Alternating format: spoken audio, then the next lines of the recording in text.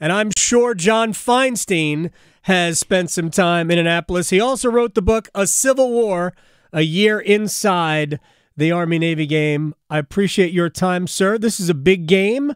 I know it's a big game for you. It it uh, it warms your heart. Tell me what you love most about this game.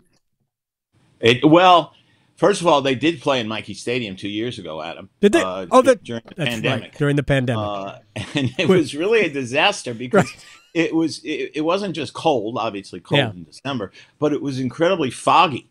Um, the TV announcers couldn't even see the field yeah. uh, for large chunks of the game, and Army ended up winning fifteen nothing. Uh, and the Navy people will tell you they don't even count that game when they're adding up the rivalry. That game didn't count. That's right. The only so people it, in the stands were uh, were the uh, were, the, were the, cadets. cadets and right. There, they, there were no middies there, were there? No, no mids were there, and uh, uh, Trump came. Right. Um, still trying to convince people he'd won the election, and at the end of the first quarter, you know, the tradition is that the president changes sides of the field at yeah. halftime. He goes from the Army side to the Navy side, or vice versa. And Trump told the people he wanted to change sides at the end of the first quarter. Okay. Because he wanted he wanted to change sides, wave, get his publicity, and then get out of Then leave. Okay. And they said, no, that's not the way we do it. We do it at halftime. So he just left. um, much to everyone's relief, I suspect. But uh, th- this is, uh, I always tell people this uh, Army Navy is my Christmas. Uh, I've been going since 1990.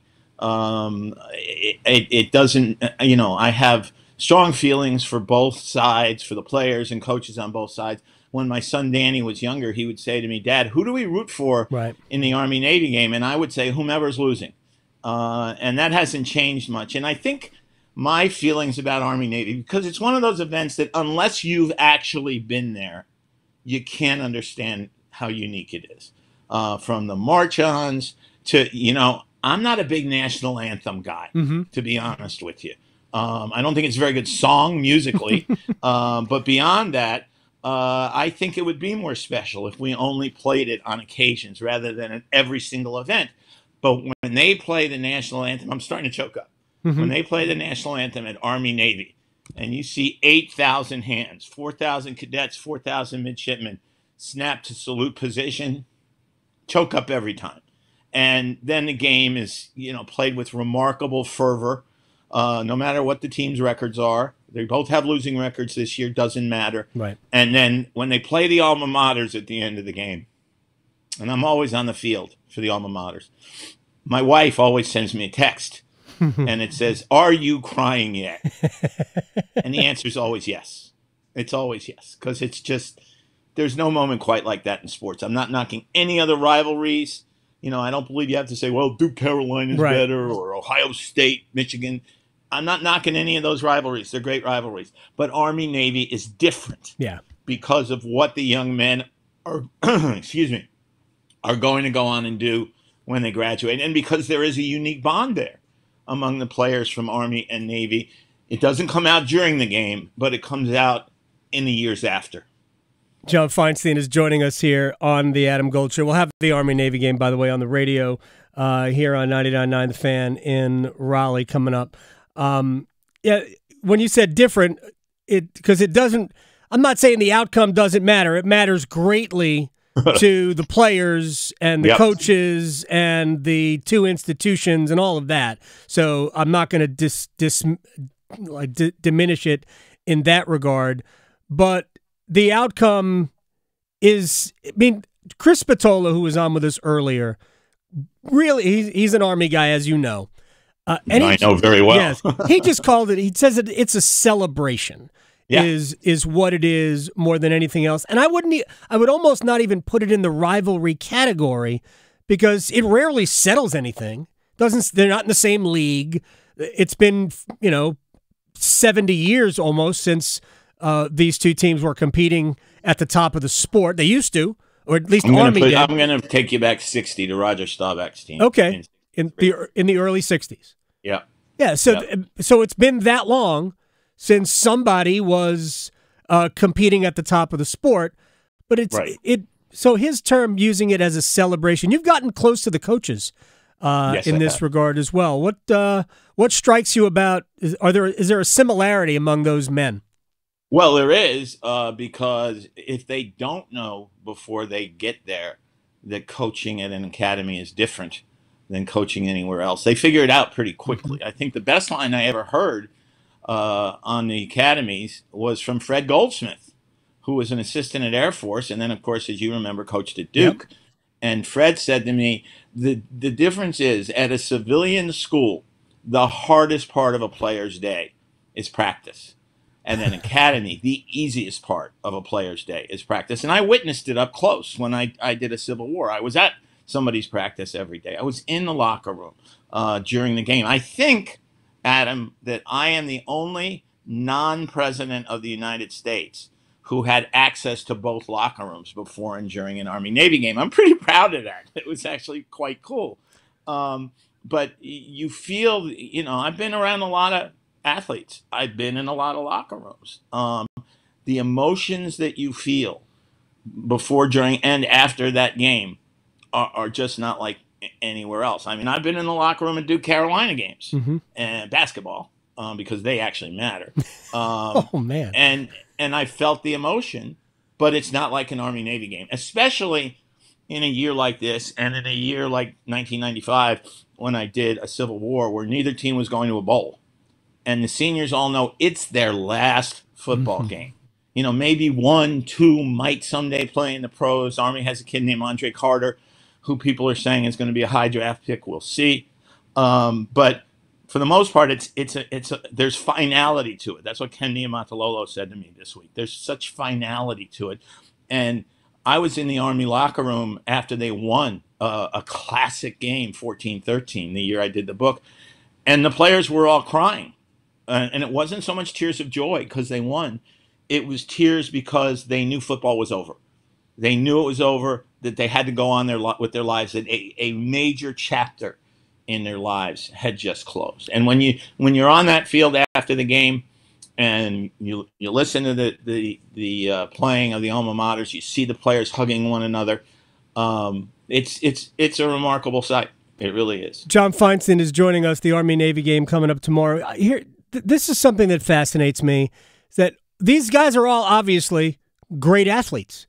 Yes. I mean, they they played high school football and were good enough to be recruited, when you accept the offer of a scholarship of uh, just admittance, which to West Point or to Annapolis, you do so with the full understanding that, barring something really, really strange, Napoleon McCallum, um, right.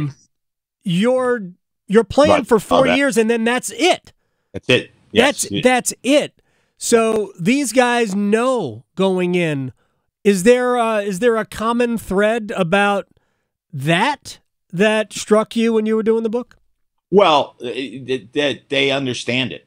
That that that that when they take that uniform off, uh, uh, ninety nine percent of them, or ninety nine point nine percent of yeah. them, are are done with organized football, and uh, like Ken Niumatalolo said, they, the, the, chapter is over. The football chapter in their lives is over. They may coach someday.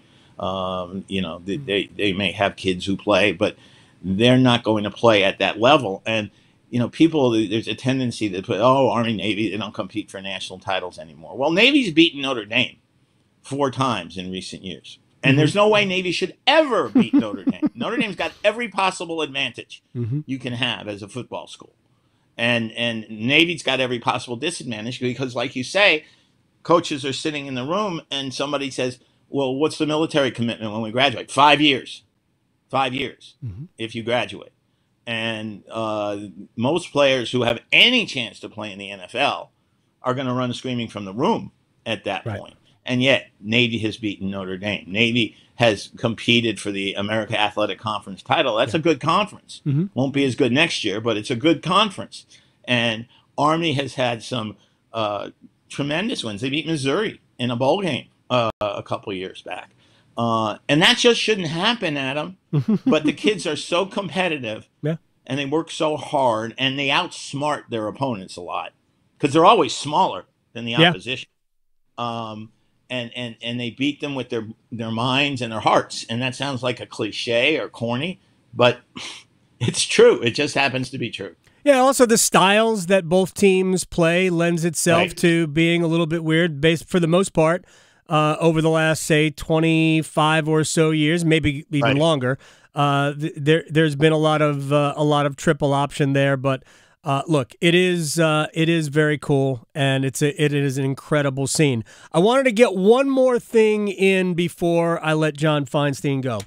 Um, I think the last time I know you were down here recently for Duke, and I'll, I'll ask you something about uh, mm-hmm. the first year of Jon Scheyer uh, in a second. But I wanted to ask you one thing about golf because I want to go back to July at the Open Championship, and I believe you and I texted going into either going Sunday. into the final round or was yeah, on it was Sunday. going into Sunday, right? And you and I both have. Uh, I I don't think I reach your levels of appreciation for Rory McIlroy. I know man crush. Yeah. yes. Uh, we certainly have to. We, we might have to worry about the keep keep John out of the locker room uh, when Rory's in there. Um, do you think he just wanted it too badly and that he yeah. couldn't kind of relax on Sunday? I think he did. Um, you know, what shows up first when a player's nerves are bothering him? Putting. Yeah. Uh, he hit the ball great um, and had all the sorts of makeable putts and, and made none of them yeah. coming down the stretch. Not one or two, none. Uh, lost by two strokes to Cam Smith, who played a great. It's tremendous. Round, yeah, sixty-four the last day of a major. Um, but yeah, I, I the, the the Rory's problem right now, quote unquote, he's the number one player in the world, so his problems aren't that bad. No, but he wants the next major because it's been eight years, mm-hmm. so bad, and he's not one of these guys who's going to say, "Well, I've won four majors, I'm going to the Hall of Fame, I'm rich, it's okay." That's not Rory, and the white whale, of course, is the Masters, and I have said that the way for him to win the Masters is to get about an eight shot lead on Sunday so that there's no pressure coming down the stretch. Um, and you know there are guys that's the way they do in their first majors, but he's won four, of course. Um, yeah, and maybe maybe he he didn't get it done because I wanted it too much. I don't know. but it, and nothing against Cam Smith, who played a great round yep. of golf. Um, but I I really wanted Rory to win very much. Yeah. And by the way, can I get, you get have I told you the story about why my man crush is so strong? It, um, it, goes back to an incident in North Carolina. Oh, yeah, let's hear it. Um, I brought my wife and then three year old daughter to Pinehurst in 2014 for the Open. Yep. And we were in the little pub off the lobby at the Carolina Inn. And Rory and his dad, Gerry, came in. And of course, it was packed. Yeah. And, you know, the manager's freaking out. Like, here's Rory McIlroy. I haven't got a table. And Gerry McIlroy, being who he is, just said, "Don't worry about it. We'll go wait in the lobby. When you have a table, come and get us." Well, Rory came over to the table to say hello, and I introduced him to my wife Christine and to Jane, who, like I said, was three at the time. And Rory walked around the table and got down on one knee so he could be at Jane's eye level. And he said, "So Jane, what did you do today?" And Jane said, "Oh, we went swimming and we went into town, and mommy, my mommy brought me a great new dress, and I really had a wonderful time." And Roy said, geez, I, I wish I'd been with you because he shot one over par that day. so I wish I'd been with you. And, Jane, of course, says, well, you can come with us tomorrow. And Roy said, you know, I just might do that. And when he walked away, I had for years said that I wanted my older daughter, Bridget, to marry Rory so he could be my son-in-law. so, and at that point, of course, Rory was married. And I said, so maybe 20 years from now, Rory gets his divorce and Jane's a little older and Chris said, "The hell with that. I'll marry him."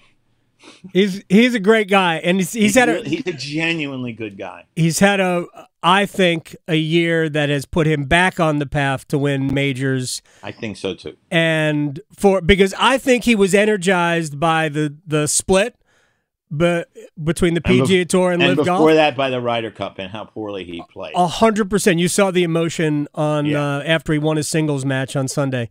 Uh, right. But I I think the split between the two tours and the leadership he took, uh, and the fact that he has not been shy about saying why the PGA Tour is where he feels like he belongs and he and, right. he doesn't like it, and his public feud with Greg Norman, which I am here for.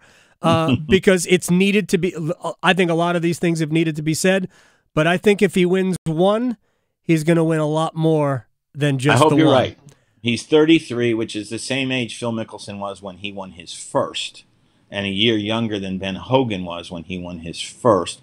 And I think your point about LIV is is very important. I, I just wrote a column in the Washington Post saying he should be the sports person of the year. No knock on Stephen Curry, who I love, but because of all the things he did away from the golf Yep. course, in addition to winning the two year long championships on the golf course, I said he should be sportsman of the year. And that may reflect a little bit of bias on my part, Maybe. but but Doesn't but- mean but you're I- wrong. I, am not the only one who feels that way. Yeah, just you might be biased, but it doesn't mean you're wrong. Uh, at Right. Jay Feinstein Books on Twitter, and if I if I may, if you have a oh 10, 11, 12, 13 year old that struggles uh, finding something good to read, uh, pick up any one of John's books for kids, which are all awesome. I appreciate your time, sir.